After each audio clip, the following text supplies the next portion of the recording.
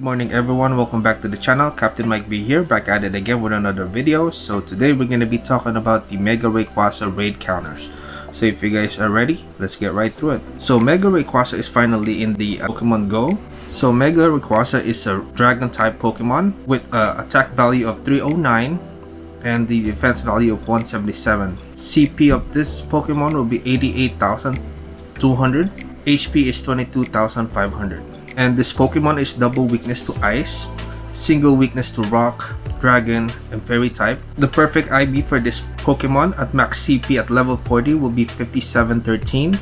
Max CP at level 50 will be 6458, so this Pokemon will be a beast. And Rayquaza can be caught the following CP values, 2190 CP no weather boost, 2739 CP boosted by Windy Weather Boost at 100%.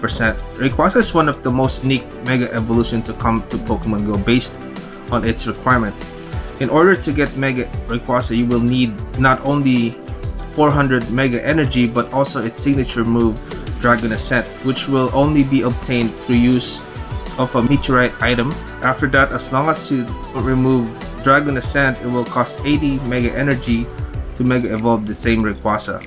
So make sure that you get those uh, meteorite from the research that you guys are doing, you know, especially if you have the ticket and go fast. Go ahead and finish those research and get those meteorite to teach Mega Rayquaza the move Dragon Ascent before you be able to Mega Evolve them to Mega Rayquaza. Like all Mega Rayquaza raid bosses, you can catch shiny version of it from the raids, but the ratio of it, it's gonna be low I'm pretty sure because most of the time uh, if they do have like a mega raid bosses they don't give out shinies like that easy. So make sure you do a lot of mega raid Rayquaza. Alright let's go to the um, mega Rayquaza raid counters now.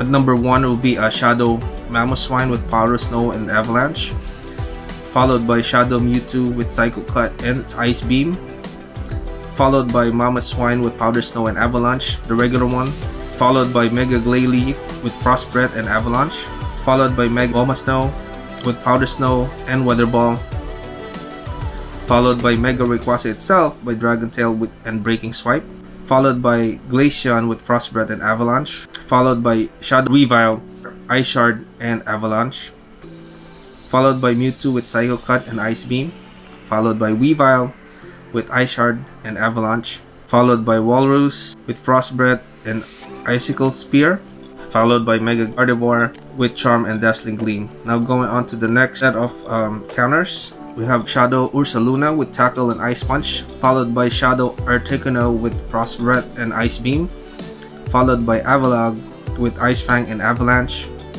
followed by Aurorus with Frost Breath and Weather Ball, followed by Shadow Alola Ninetales with Powder Snow and Weather Ball, and followed by Shadow Lapras with Frost Breath and Ice Beam. Now going on to the next set of um, counters, we have Galarian Darmanitan with Ice Fang and Avalanche.